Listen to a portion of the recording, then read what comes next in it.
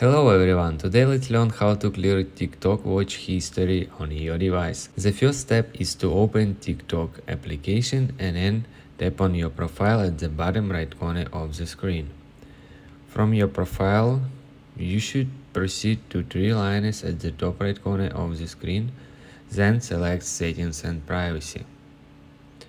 Next step, scroll down a little bit and under content and display you should see option comment and watch history. Proceed to it. Then select watch history. Next step, tap on select at the top right corner of the screen.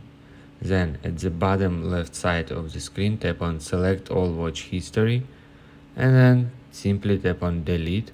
From the appeared menu, tap on delete.